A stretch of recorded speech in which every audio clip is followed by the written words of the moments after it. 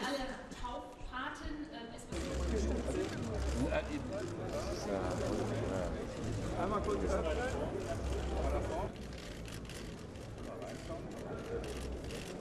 Also insbesondere die Automobilindustrie, aber ins, überhaupt der Standort Deutschland ist verknüpft mit unseren europäischen Nachbarn. Nur wenn es denen gut geht, kaufen die unsere Produkte. Nur wenn wir einen gemeinsamen Markt haben, haben wir Wettbewerbsfairness, in Europa. Und kein anderes Land profitiert von dem gemeinsamen Markt und von der gemeinsamen Europäischen Union so sehr wie Deutschland. Das muss man, finde ich, äh, gerade in diesem Jahr besonders betonen, weil doch viele unterwegs sind, die mit ganz schrägen Argumenten und Vorurteilen versuchen, äh, die Europäische Union zu zerstören.